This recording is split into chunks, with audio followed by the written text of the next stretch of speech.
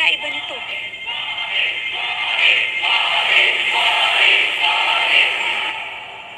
Kanina pa lang 6.30 ng umaga, may sinasabi na yung babae sa radyo na wala na raw yung mga Marcos. Ano yun, sino itong mga kasama natin dito? Aparisyon? Bongbong! Dad! Bakit ganyan pa rin ang damit mo? Anong gusto mong palabasin? Dad, pinasabugan na po nila tayo. My order is to spur gusto mo, masabugan din natin sila. Pugat na ng mga ahas!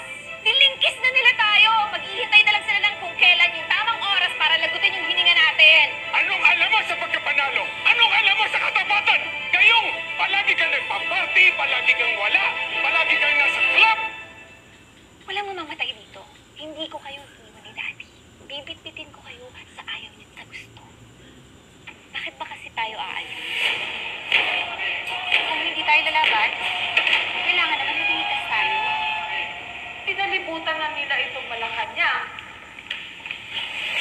Hindi na maintindihan kung sinong pwedeng pagkatiwalaan dito sa Panasyo.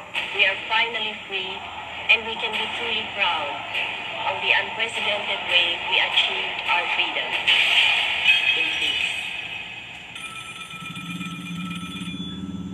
Get them out of the Philippines.